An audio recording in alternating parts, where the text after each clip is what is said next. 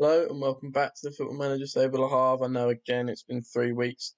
I'm truly useless. There is no excuse for any of this.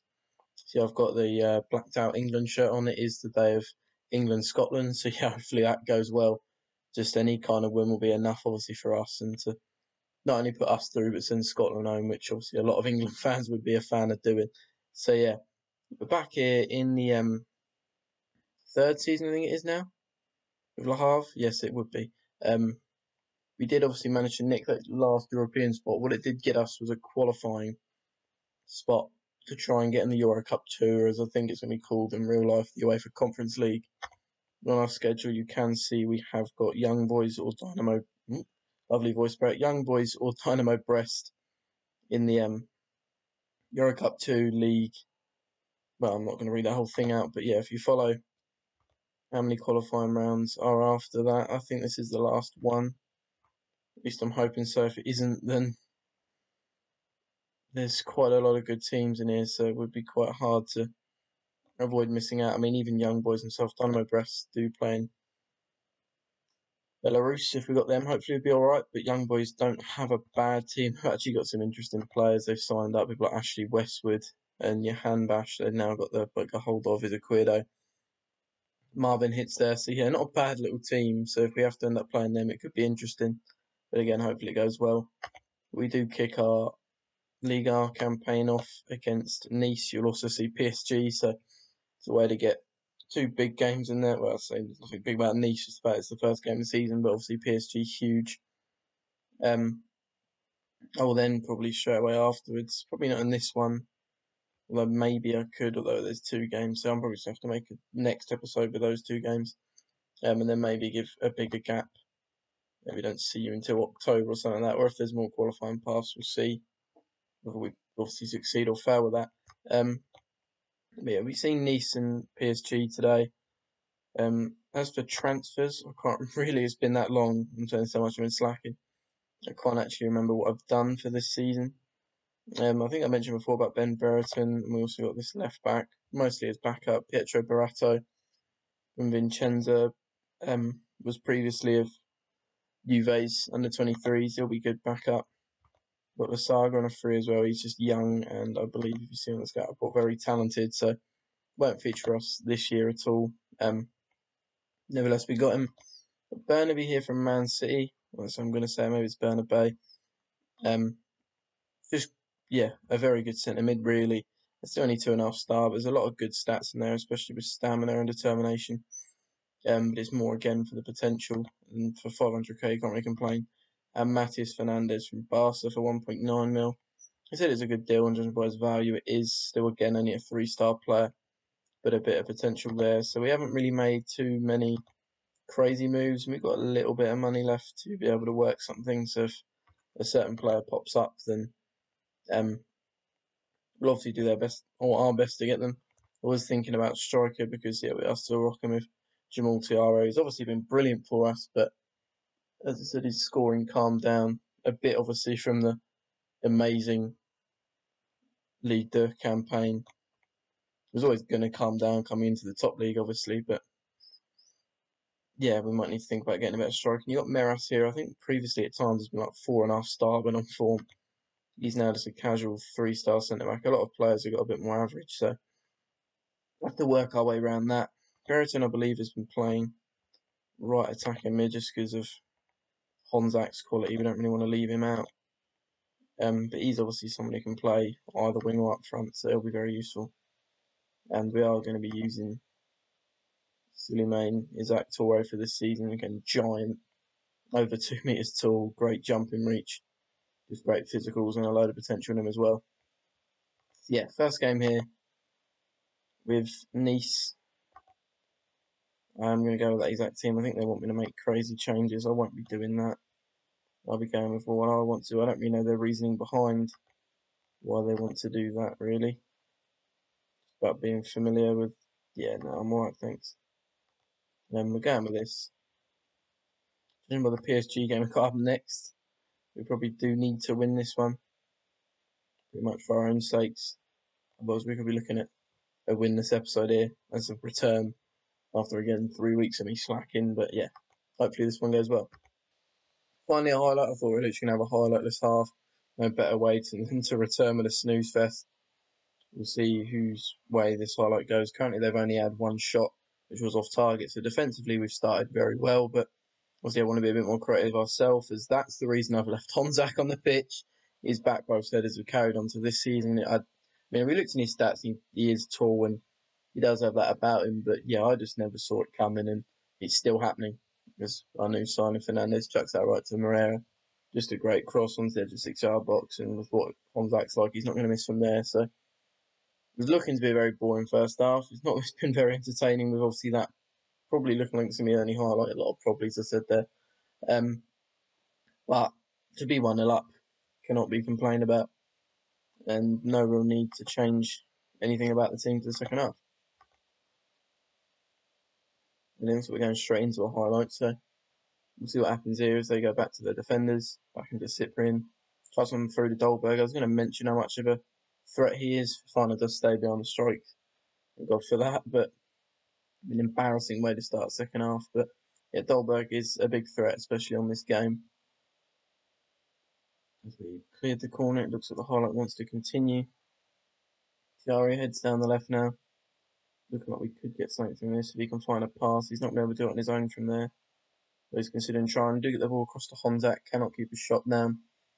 Would have been a brace for him, but yeah, not to be. Very late highlight here. If we throw it away here, it'd be very disappointing, obviously.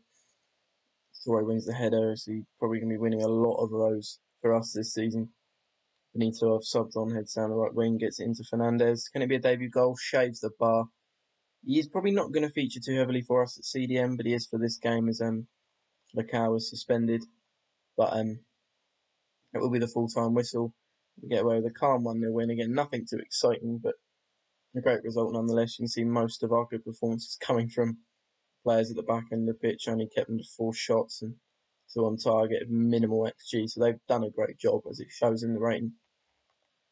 Yeah, we're still not looking to be that entertaining of a side, which I apologise about for this season, but again, it looks like it's a successful way of playing. So great start, really. So now heading into the second game here.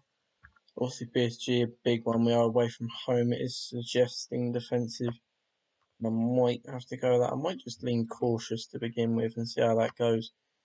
Something we did find out in the meantime, um, as probably expected, Young Boys absolutely battered Dinamo Brest, so we will be playing them the very recent recent future. Is that you say? But basically, it's coming up very soon. So as long as I don't take three weeks after this episode to um bother to play that game, you will be seeing it basically yeah, very soon. So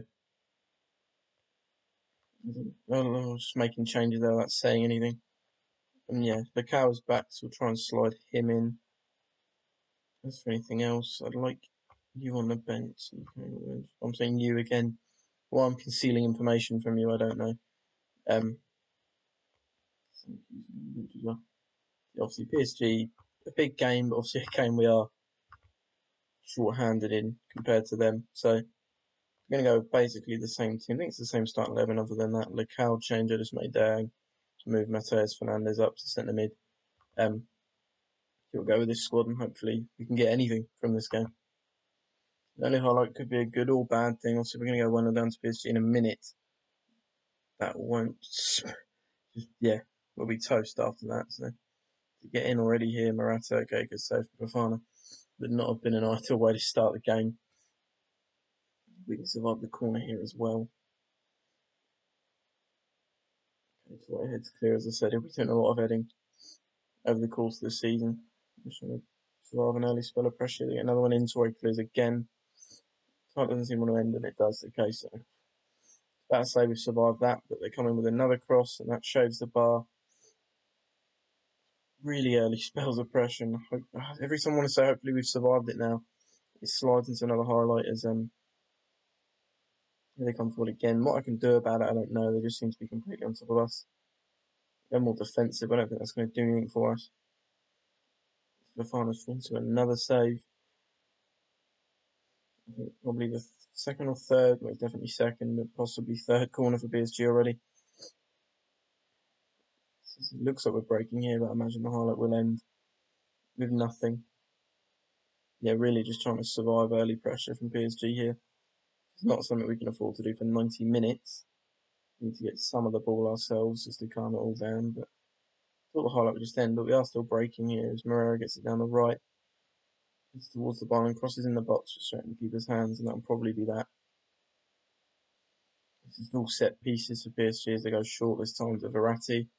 That's Rony Lopes got a bit too much room there, gets the ball across Marquinhos. I think that's blocked. May have a chance to break here with Ben Brereton. Has recently changed allegiance to Chile. How that came about, I don't know. And he has scored for us, so probably still English on this game, but the newly chosen Chilean does put us 1 0 up again. We've been completely under the cosh. I probably sound happier than I do, but I think I know what's coming, and it's probably more of what we've had in this first half hour, and that's a lot of PSG possession and chances. So it's great to go 1 0 up, and it gives us a bit of something to lean on. But yeah, it continues how it's started. We're in for a long game here.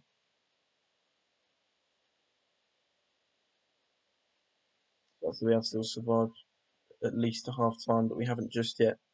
Marquinhos must be playing at the base of midfield with how high he seems to be playing. Burnett, Burnett, Bernat now down the left, looking to get a ball across, short one into Paredes, back post Kulusevski. Been threatening with headers from corners a lot already, and they get the goal. They've looked like scoring pretty much since the um, whistle to start the game went. Um, upsetting not to survive till half time, but again, yeah, can't say I'm surprised. They've been all over us. So, what I can do about it for the second half, I don't know. Just really trying to survive here. That will be half time. Hopefully, we can have a better second half. A couple of players not performing out there, so we may change them pretty soon. Yeah, just doing our best to not get battered out here, really. A phone for us now as Meris tries to launch it, and we do get it in there, hit the post. I thought rebound might have gone to us. It doesn't quite. A great chance there to retake the lead, completely by surprise as well. Keep the team around a little bit. There will be subs coming on. You can see Benito will be coming on the right, and Brereton goes over to the left, and that's probably a penalty. Yeah. I was hoping this was just a normal highlight after a sub where it's just they make you watch it until the ball goes off the pitch, but this isn't looking like one. This is probably definitely be a penalty, and it is. So unless Fofana can step up again for us here, we'll be heading two one down. Right, he steps up and scores. So yeah, I'm not really surprised. Yeah, we've been battered the whole game. I might even step up to balance now, see if that can help. Certainly got to hinder us at this point because cautious isn't working. So Let's try and press forward to maybe an equaliser, but I don't really see it happening here. And that will be full time, but there's time for one more highlight here. Probably going to be theirs. If in any way it's ours, then brilliant as they chuck one behind for Kutaku. Oh, I didn't know who he was as he rounds our keeper and scores. But if I click on him here, you'll see his stats. Well, I can't click on him there. Basically, I'll show you at the end of the game. His stats are incredible. Who he is and where he's come from, I don't know. But incredibly dangerous player. Get a chance to with name here. See what's going on with this man, and he clearly exists because he's got a face belongs to Schalke, and um, come from their youth academy, it seems. Yeah, the stats on this man, you see, he scored 11 goals and four assists in um, qualifying for the World Cup, five star player, 16 finishing, a lot of like 14s and above. Yeah, where he's come from all of a sudden, I don't know, but looks to be an incredible player and puts the kind of dagger in us as we. I was going to say balance worked a bit better. It did restrict him to a lot less chances. That could Kuan you saw then was literally the only chance they had since switching a balance, but we obviously didn't have any highlights ourselves, so I can't really say it worked either. But um, yeah, didn't get the same result we got last time. We somehow managed to edge a win against them, but I can't really say I'm surprised. They are the best team in the league, and probably go and easily win the title again. Um, yeah, not an awful start. Again, a comfortable one. They're winning the first game, not too busy.